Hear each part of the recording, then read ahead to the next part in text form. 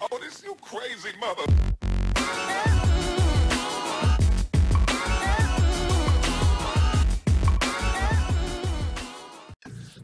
Hey guys, no, you're not seeing double.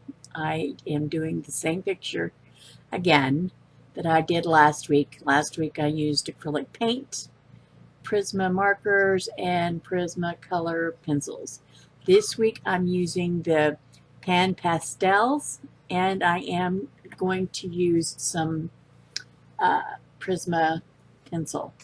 Now before I started videoing this, filming it today, the darkest parts of this picture I did go over with some black um, uh, paint so that they would the, the the shadows would stand out deeper. So that's the only paint, but I did that off camera. You're not even going to see that on this camera. So um, this was from the live that that I did today. This is a time lapse of it. I am really impressed with these pan pastels. I know that I'm going to be playing more with this medium. I'm really enjoying the process. So I hope you enjoy the time lapse, and I'll see you in the next one. Have a great day.